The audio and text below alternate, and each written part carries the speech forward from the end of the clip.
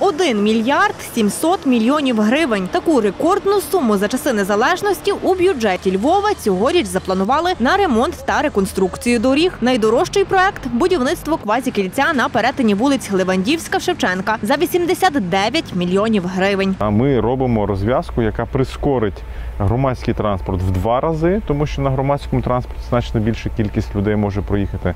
А автомобільний транспорт прискорить на 60-65%.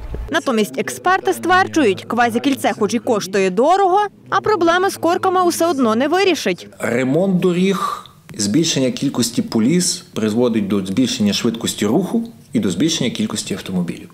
Пропускну здатність воно абсолютно не збільшує. Журналісти проекту Теорія правди з'ясували, у генеральному плані Львова було передбачено будівництво нових розв'язок на науковій Стрийській, науковій княгині Ольги, на вулиці Ряшівській, а також мали продовжити вулицю Луганську з перетином вулиць Стрийська та Городоцька. Усе це дійсно зменшило б навантаження на вулиці Шевченка та Левандівську, на відміну від квазікільця, кажуть експерти. Не зроблено нічого. Чому не хочуть звертати увагу? Тому що якщо тільки піднімуть генеральний план, тоді всім стане одразу ясно, що когось треба садити в тюрму. Щоб обійти генплан у лютому цього року на черговій сесії та за підтримки 47 депутатів затвердили новий містобудівний документ, так званий план сталої мобільності Львова. Цей документ вже не передбачає будівництва доріг. Щоб боротися з заторами, чиновники радять львів'янам пересідати з власних автівок у громадський транспорт.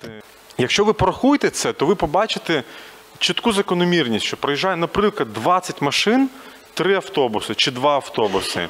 Але в двох автобусах буде їхати 100-150 пасажирів, а в 20 машинах 30 пасажирів. Відтак про будівництво нових автомагістралей львів'янам доведеться забути. За результатами дослідження соціологічної групи рейтинг 45% мешканців вважають корки на дорогах основною проблемою Львова. Мирослава Гаврих, Марія Частякова, Правда наживо, телеканал НТА.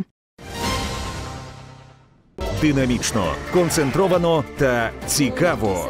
Дивіться правду наживо у будні о 19.00 на телеканалі НТА. З нами не прогавити найважливішого.